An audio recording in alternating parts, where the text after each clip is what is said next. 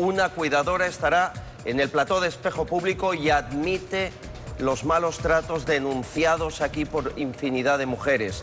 Se llama Julia Maseo, lo hace a cara descubierta. Primero fue alumna, más tarde fue cuidadora del preventorio de Guadarrama en Madrid.